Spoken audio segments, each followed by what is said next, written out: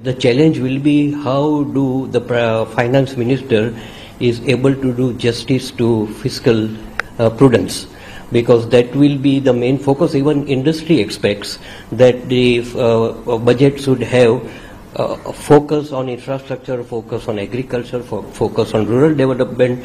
At, at the same time, it should be within the fiscal prudence, that fiscal deficit, deficit will be within the uh, manageable range.